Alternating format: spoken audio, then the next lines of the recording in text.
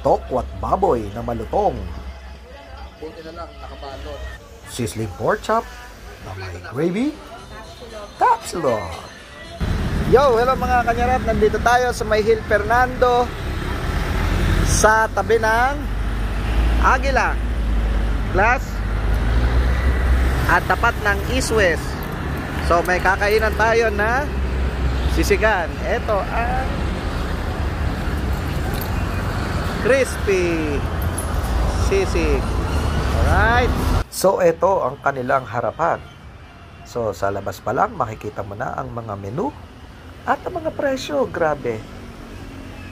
Affordable. 99 pesos o 120. Solve ka na. Ayan no. Sisling sisig, lechon, pork chop, chicken, liempo, 99 pesos. Good for sharing, bulalo, 150. At meron silang bilao orders. At ito ang kanilang loob. May anim na table. May kasikipan, may kaliitan. Pero kakain ka lang naman. Tapos pag busog ka na, umalis ka na. At ito si ate, chinachap-chap. Ang lechong kawali. Iyan din ang ginagawang sisig. So, sulit ka na dito. Sa sisling, ito, sisling sisig with rice, 99 pesos. San ka pa? At ito, ang pogi ko ah. Ayan. Hinahalo ko ang aking sisling sisig na 99 pesos. Na may kasama ng garlic rice. At syempre, magpakit muna tayo. Mm, cute. O, ba? New Year, new look. At syempre, titikman natin ang kanilang sisig. By the way, kung masarap sa akin, baka hindi masarap sa inyo. So, panlasa ko lang to. O, masarap ba ang sisig? Okay, okay? Okay, nyarap. Malasa siya, malutong. Crispy na sisig. At ito ang kanilang tapsilog. Yung tapsilog, titikman natin. Ayan.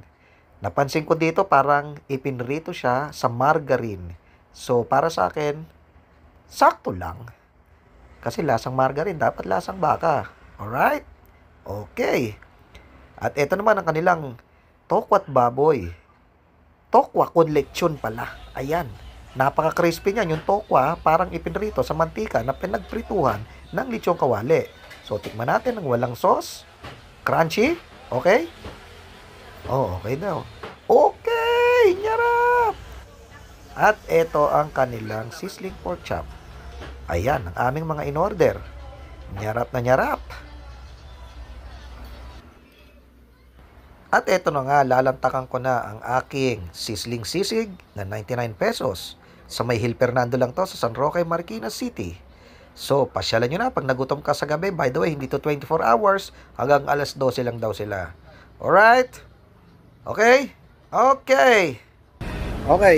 Masarap ang sisig. Malutong. Tsaka ang tokwat baboy. Eh, Mikey! Nyarap.